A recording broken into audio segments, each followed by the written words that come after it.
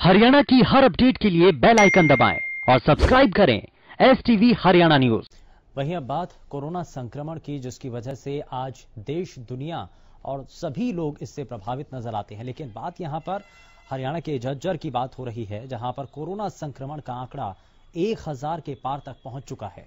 ज़िले भर में करीब उनतालीस लोगों के इस दौरान टेस्ट किए गए हैं, जिनमें से 101 लोगों के से ज़्यादा, यानी कि लगभग हज़ार के आसपास लोगों में कोरोना का संक्रमण पाया गया है। क्योंकि आप देखिए, उनतालीस हज़ार लोगों के जब टेस्ट किए गए, उसमें हज़ार के आसपास लोगों का जो कोरोना संक्रमण उनके भीतर पाया गया है। लेकिन राहत की बात यहाँ पर यह है कि 90 प्रतिशत से ज़्यादा लोग कोरोना को हराकर वापस अपने घर लौट चुके हैं।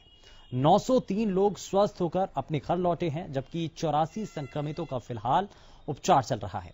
ज़िले में कोरोना संक्रमण से 14 लोगों की मौत भी हो चुकी है। फ़िलहाल अनलॉक के नियम लागू हैं।